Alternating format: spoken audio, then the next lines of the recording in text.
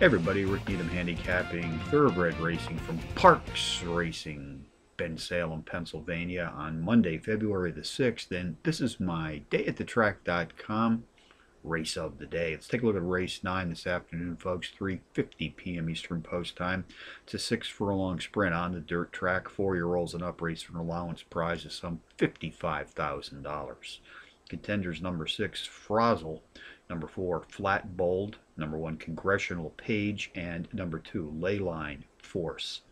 Number six Frazzle has won half of his 10 career starts to date, sprinting at six furlongs on the dirt, takes a class drop of three TrackMaster units, the overall pace profile leader in this field this afternoon.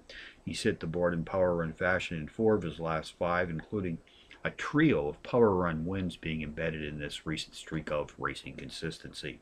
Jockey Cornelio Velasquez and trainer Linda Rice sent him postward for the Monday feature. They fit the board with 52% of their entries settled as a team to date.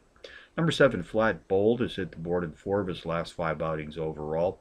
Three of those efforts also qualifying as power runs. Race 9 summary number 6 Frazzle tops of my contenders list today, which also includes number four, Flat Bold, number one, Congressional Page, and number two, Leyline 46412 and the ninth from Parx Racing. Bonus long shots on Monday, Beulah Park in Ohio. Race three, the four to one shot. Number two, Lightning Road.